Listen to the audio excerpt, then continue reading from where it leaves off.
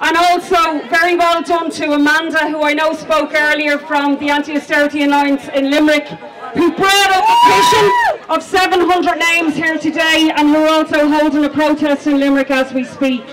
That's exactly what we need. Now, just the reason that there's some noise, it's a little bit rich to hear people coming out from the Dáil who began the austerity agenda in the first place and who began the cuts in child benefit which particularly hit the poorest women in society. these are the petitions here which I'll personally present to Joan on the next possible chance I get. Um,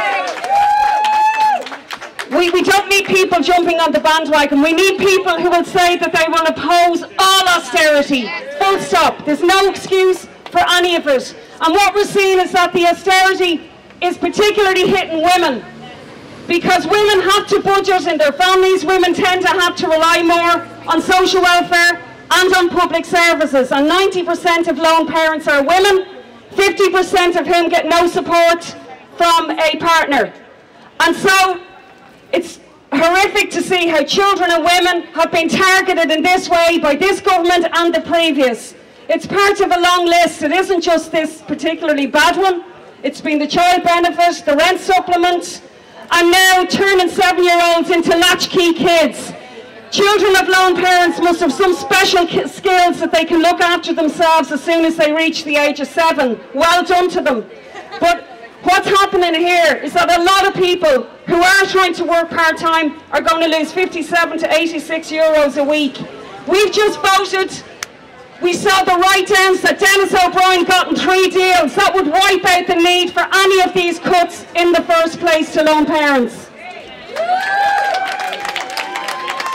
The biggest single group in this country living in poverty are lone parents, 63.2% live in deprivation. UNICEF, we're used to them going into third world countries. They've reported that uh, families have lost 10 years of income progress because of the bank bailout. There's a constant fear of the electricity bill and of homelessness now. The housing crisis isn't just single men as it probably would have been more so in the past. It's young women with families in particular and why not say to Joan Burton, why not just let's reopen the mother and baby homes and have done with it? Because you seem to not want to give any support at all to, to lone parents to bring up their children, despite your constant invoking of your own personal experience of being born and then adopted. Well then, show that you have some understanding and reverse these cuts. And just finally, is it any wonder that when these ministers go into the most deprived communities, such as Jobstown, where I know people are from here today, that they get the reception that they get? What do they expect? Red carpets?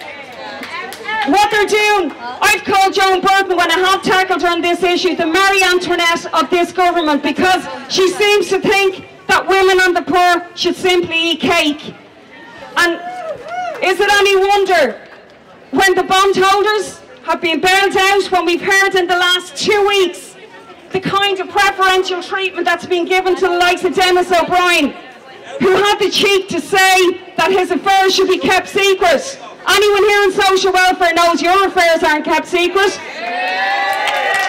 But as well as that, we bailed out the toxic entity of Anglo, and now they're benefiting from its wind down is absolutely disgusting and disgraceful. And from his boat boathole retreat in Malta, he has a cheek to give out that the media is covering his activities and that elected representatives want to highlight his plight. Can I just say finally, we need to keep up the pressure on the parties. One third of children are born to lone parents. It is actually a big electoral lobby and they might be ignoring us now, but there will be a general election in several months' time. And I would encourage lone parents, along with anti-water charges activists and all of us who are fighting austerity and capitalism, to consider joining up yourself and standing in those elections and challenging these people for their seats so that Joan Burton and the rest of them aren't returned next year.